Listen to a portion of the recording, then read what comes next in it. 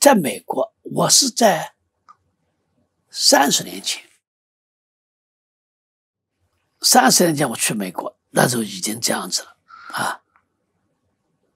你要说我拿一万美元、一万块钱美元的现金，嗯，我存到银行去，嗯，有问题了。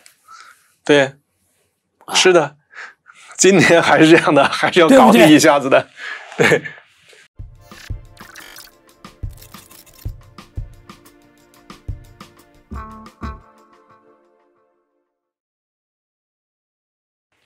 你说这是这是银行是公权力还是什么权利？那你说这个是不是已经开始？一方面，嗯，你受不受控制？你受控制了。你说是，纸币还在一定范围之内流通，嗯，但是，一旦到了金额比较大的，你的流通就困难了。对对不对啊？对，哎，也就是说，你在一般的生活的消费开支领域，嗯，你可以还可以用这些这个是的，是的，是的，纸币，对，当你到达投资领域，嗯，你就很难了，是的，对不对啊？对，我们说，虽然美国没有一个贸易向下和资本向下这么一个管制，啊，不像中国大陆有明确的贸易向下和资本向下的管制，啊，但是实际上面，他对现金这样的管，就是一个贸易和资本向下的管制的一个状态了，对，对吧？对，我们说一般的生活，它也可以称为贸易，嗯，对吧？嗯，好，我们再怎么再说，如果我们说人这种生物，嗯，这个不需要那些自由。啊，嗯，就像关的这个动物园里的呀动物园呢，只要照顾的好好的，吃得饱啊，穿得暖，住得好，就行了，满足了。嗯，啊，那也可以，这种模式的发展未必是个坏东西啊。他会越控制严，但这个你你你活得好就行了吗？对不对？但是恰恰在于人作为这种生物现象，它有它是这个物理的生物的啊的发展过程，产生了另外一个一个特定的一个现象，就是我们称之为叫做人文。人文就是用通俗的讲，我称为叫做无中生有的创造力。无中生有，一定就是系统内原来没有的东西。嗯，那么系统内没有的，你就必须要允许自由，个体的、个人的思想自由、言论自由，包括选择自由，这是人文的文明的基本的特征、基本的需求，因为它需要无中生有，需要产生已有系统所没有的东西。所以，所有的集权的控制，它都是建立在一个已有系统啊，有的我能给你搞得最好。那么已有系统没有的，就绝对不允许，都是异端邪说。除了那个最高的大独裁者，他想怎么样，啊，那个他可以往这个已有的系统里面注入新的东西，否则人文就没得发展了。这一点被我们当代社会历史也证明了。我上世纪八十年代呢，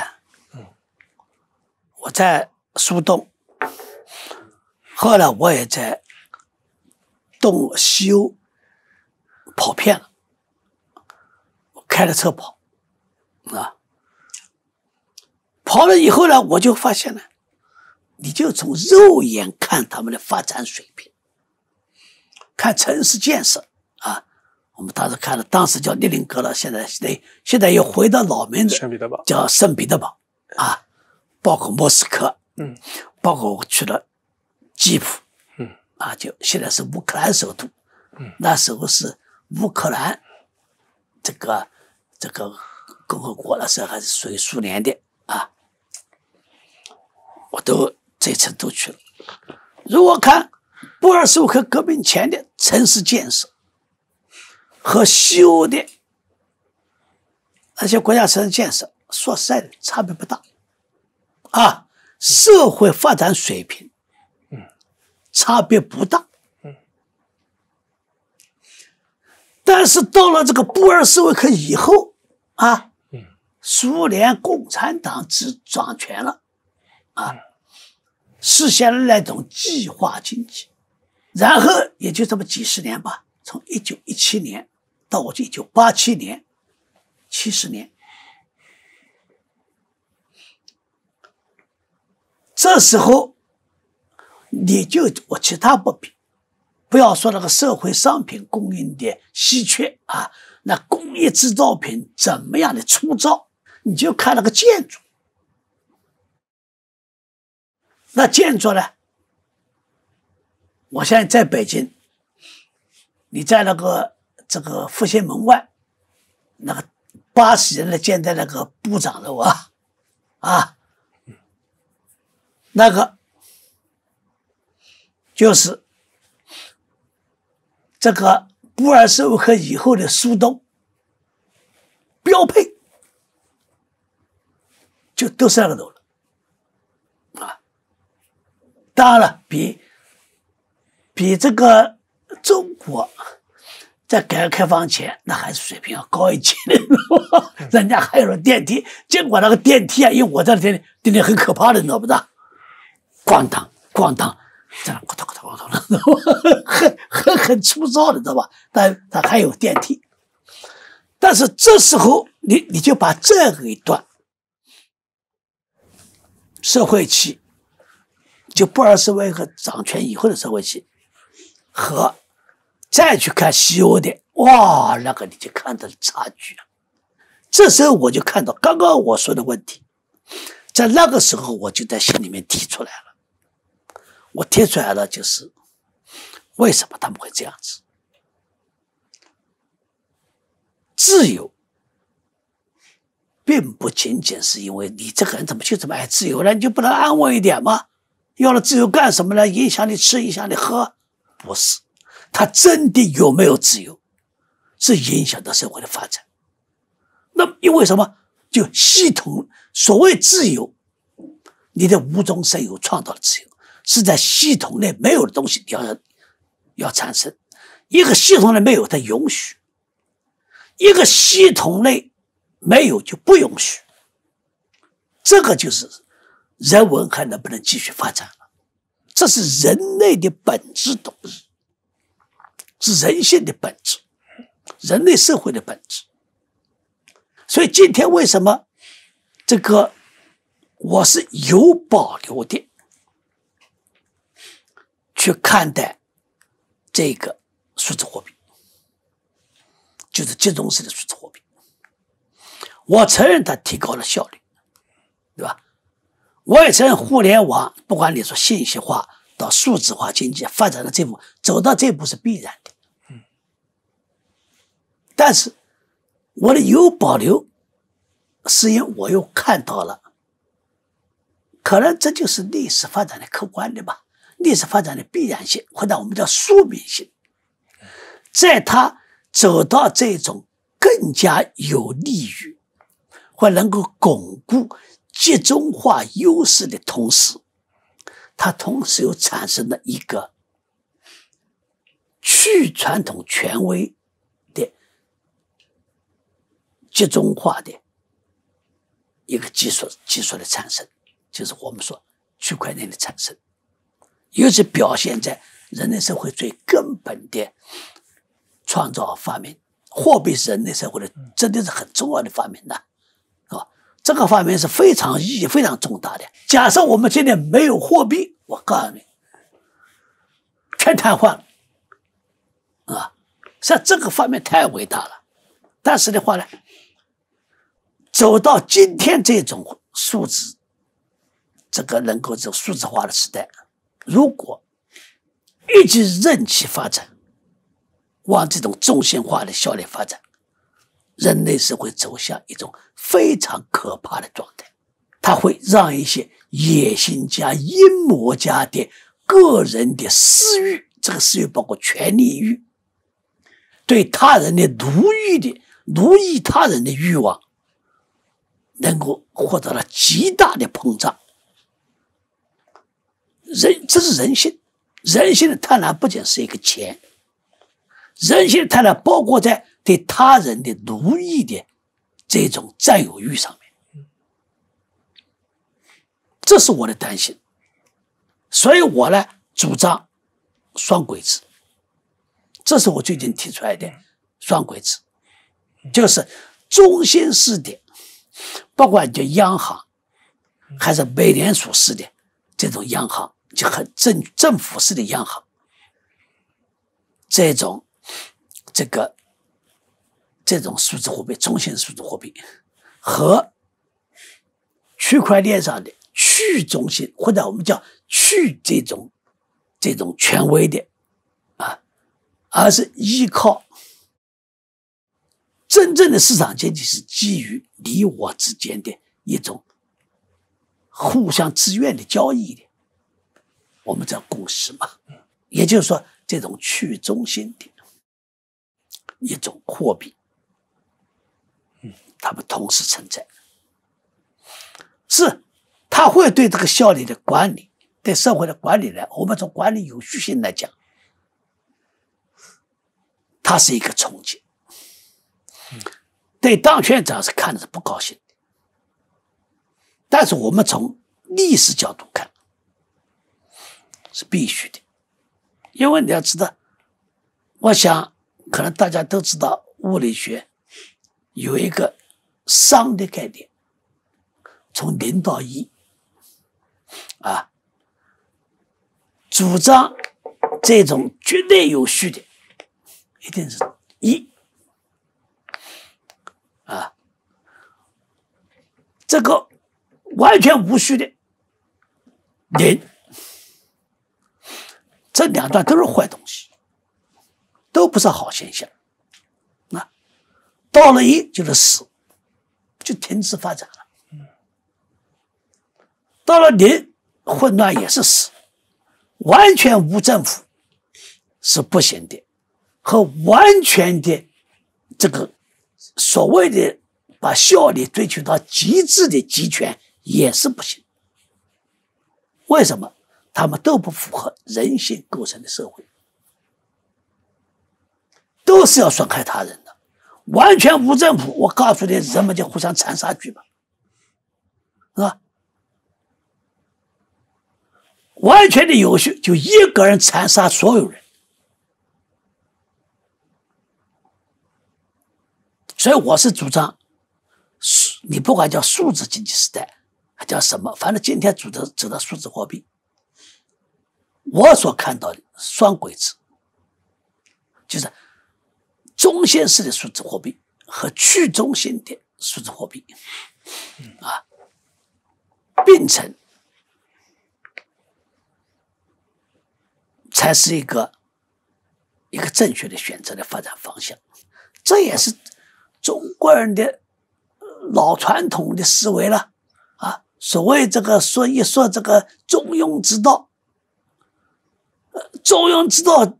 这个也就晓得择两端而取其中，但这个中不是一个这个这个这个标准尺寸的或者物理的空间的中中间点。他说的是一个可行的这一点，你可行的点啊，这是我的看法，知道吧？那总的说呢，你你的这些说法和主张呢，还是一个呃过渡阶段的一个产物。我我我看来啊，市场化到数字化当中究竟发生了什么？有两点是很明确的。第一个呢，这个市场化的这个前提变了。我们说市场说市场起决定作用，价格起作用，那怎么度量价格呢？货币，你没有货币怎么度量价格？对吧？你货币是个前提。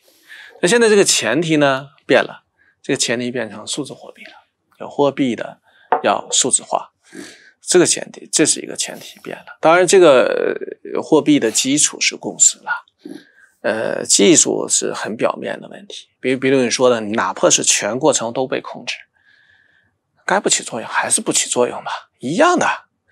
比如说我们现在的这个。网络这个平台当中有很多给你积分呐，给你这样的送啊，给你打折呀，是吧？哎，那做得好呢，大家就跟他走一走嘛，走你就会有很多好处，都是你得到的或者你该得到的。OK，但是实际上都不管用嘛，大家嫌烦嘛，就是最简单的东西，对不对？谁会花那么多时间研究研究你的那套政策？给我多少个积分嘛，多少个点嘛？我每一天要花多少多少时间来学习这个东西？这还是不行嘛？所以你要给大家一些东西，你要套程序往下推，这个想法有，这个资源有，它并不意味着就都能推得动啊！就全数据的，全在这个平台系统之内的，也并不意味着能推得动。所以有各种各样的这个货币尝试，今天已经发生足够多了。就在我说是的数字货币的这个这个方向上，足够多了，绝大多数不成功的。啊，这个是这个是一个一个必然的呃过程，在纸币时代，在这个这个铸币时代都有这样的一个情况。货币这个问题很天然的是一个一个很自由的一个范围，我可以不用啊，我可以少用啊，对吧？这个你很难很难强制的啊，很难强制到的。然后它跟公权力的关系呢，这个表述呢，不太是一个，还是还是。在一个社会经济的范围之内，呃，去观测还是比较准的。比如说，我们晚清，晚清是个货币体系超自由的一个时代。为什么呢？全球的货币基本上都可以在这儿流通，外国银行的纸钞、各种各样的铸币，金的、银的，是吧？都在流通。银行系体系，有钱庄票号体系啊，它俩还未必都是矛盾的，它有各互补的。在在在推进，那是一个货币看起来呢是一个非常复杂动荡的时代，也是一个极其丰富的一个时代，啊，也是一个极其自由的时代。这个自由当然说你个人可以随意的去选了，那评价呢往往会出现一些问题，比如说称量货币，称量货币是很普遍的，在贵金属时代啊，形制不稳定，呃，鉴别成色和重量啊，在中国和东方和西方都存在这个这个问题。那么清时代的称量货币呢？大家这个不好，效率低，一大堆的问题，有很多的批判。其实另外一个方面呢，称量货币等于什么呢？等于自由币呀，等于自由货币呀。一块银子什么形状、什么成色都可以流通啊，对吧？找人看一下就可以了呗。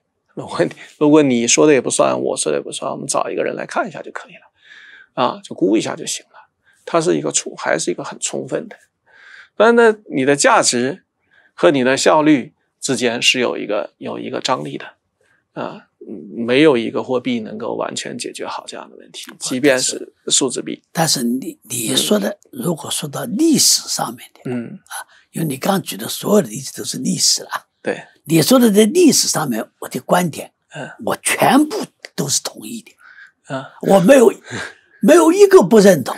我说了，我说包括我们今天各种形态的数字币也有的，呃不，但但但你要知道。啊，历史上的所有的这个时期或者发生的事件或者是形态，它都有一个共同点，就是就是我说的，在这个货币的流通过程当中，啊，有信息断掉了那么一段，就空间也有断掉了这么一段。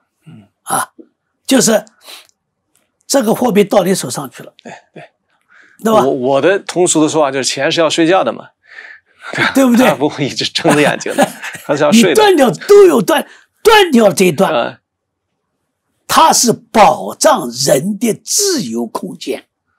嗯所谓人权嗯，人权里面重要的一点，财产权。为什么财产权非常重要呢？就生成资料嘛。财产权最基本的，我们缩小到最后就是我能不能活着。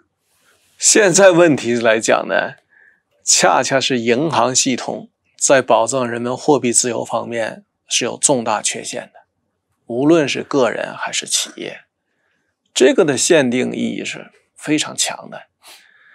那么数字币出来之后，数字经济出来之后，所谓提出的这种 inclusive，就是这个所谓的互惠啊，翻译过来互惠，不太不太准确了啊，大致是一个意思，就是要使得只有这个数字的手段能够使得货币的呃数字的货币、数字的经济决策能够广泛的普及到更多的人哈、更广的范围，更更更连续的一个时间状态是这样。反之，它所对应的就是银行货币这一块。银行货币这块问题是大家会发现它的越来越来的问题越多。当然，我们个人现在是因为它垄断。我们现在个人的直观的感受是效率低嘛？哪止效率低啊？他户都不给你开一个吧？开个户都很因为它困难的垄断了，对呀、这还是因为表面上看是银行的问题，嗯，实际上面是是这种公权力的问题。这个这个也对，这个是因为是最近这几个世纪以来呢，呃，银行和政府的结合，共同进入到什么发牌呀、企业里去，哎，你只有这个银行，你要设计的很高的门槛啊，嗯对不对？那这样你在保护在保护垄断啊，税收是核心嘛，跟政府关系的税收是核心嘛。也就是说，今天你任何一个企业甚至个人，你的货币形态完全是脱离银行的，那就视同为是个黑人。啊，不是 black man 啊，对啊 是个是个黑黑的，你他就会说你一定会有这样这样这样这样的一堆的问题出来，很多的交易是不可以使用现金的。这是近，近四十年出来的事情，嗯，近四十年。就是对有 KYC 啊、AML 啊，这哎一系列的我告诉你，公权力，嗯你只要给他一点理由，理由他就要扩张。开玩笑什么时候出来的？嗯，就是因为出来一个九幺幺，美国一个九幺这个事件，哇，反恐至上了。别以为美国那些他妈这个哦，因为有一个三权分立，他就公权力就不能扩张了。哼，他利用人们的对于这种灾难的对。恐惧，他公权力就扩张。你现在比较比较突出的是这样的，你一国范围之内是这样讲，你国际社会也是这样，大家对于美国的这个长臂管辖还是有各种各样的意见的。那也没办法，你要用人家美元啊，是吧？对，他是他他是这样，这个系统是这样的。那央行是美是是美联储啊，是吧？啊，你要美元，你全世界百分之八十的贸易都美元结算，嗯，他当然管得了你了。所以这个这个垄断是坏事啊。这个这个对，这是有很大很大的很大的问题。就是银行的历史，我们回过头来说，我们从中央银行加商业银行这套系系统来讲，也就是一百多年的历史。其实，在整个的货币历史当中，还是占据了很短的。但是你要这里给了他机会，但是，即便在这么短的时间范围之内，他所遭受的挫败是整个社会经济体系的，这个是也发生的。大小的几千家、几千家的企业，是银行的破产那这破产哦，他们承担什么了呢？哎对不对？too big to fail。你包括这个，你美国二零零七年、零八年金融危机，还不是让这个一大众去承担去吗？穷国帮他买单的嘛，啊，对不对？对，这就是我告诉你这个，为什么我主张的改革。嗯，我经常说，有些人误解我了，嗯，好像我经常就把这个主张一谈，我谈的改革就是对的这个这个一党专政的国家。我说我不是，我是对的，现在是全球的这个社会形态。旧经济是老了，旧经济老的情况下，我们去看到，我们说数字经济，特别是在这个欧美的部分哈，这个这个他那个旧的那个旧的经济形态的那个衰败呀，是很明显的。因为我们对一些经济甚至感受不深的人，去了以后都会发现，它的基础设施比较弱。比如说，那个一四一五年的时候，在美国就听这样讲，说日本人说我给你修条高铁，这个高铁呢是从 D.C. 呢到纽约，先修一段呢是 D.C. 到费城吧，啊这样的啊，这一段我是免费给你修。那么美国的方面呢，在研讨这个问题就研讨了两年，研讨了两年以后说 OK 可以了，你日本人来帮我修吧。日本人说对不起，我现在修不了了。这个事这个事情就过去了，这个事情就过去了。你说这个，我同样还是跟我刚刚的观点，就我的逻辑是一样的。就什么呢？嗯，我刚刚说了，我对现有的一种制度的批判，不是仅仅面对的共产党的这种专制社会的，包括我的批判，就连这个西方的这些。被称为民主社会的批判，为什么呢？我我我经常说，这个我说我总想找一些人来讨论的未来社会形态，啊，嗯，就是呢，因为我你知道，原来八十年你知道你认识我一帮朋友对吧？嗯，包括你认识朱家明，我们原来都是搞中国的经济体制改革的，对吧？我们是经历了，不仅经历了，而且是亲身参与了，参与了设计，参与了推动中国大陆社会从一个这个计划经济的集权社会走向啊专制的这个半市场经济社会。我到现在还称为叫半市场经济社会啊。然后呢，九十年代。一开始我又下海了，在外面这个折腾，然后我就发现呢，哇，这个现在这个民主问题蛮大。为什么现在欧洲，尤其西欧社会，包括美国，你可讲曼哈顿，为什么会这样子？你要让我说，我说啊，这个那个人权呐。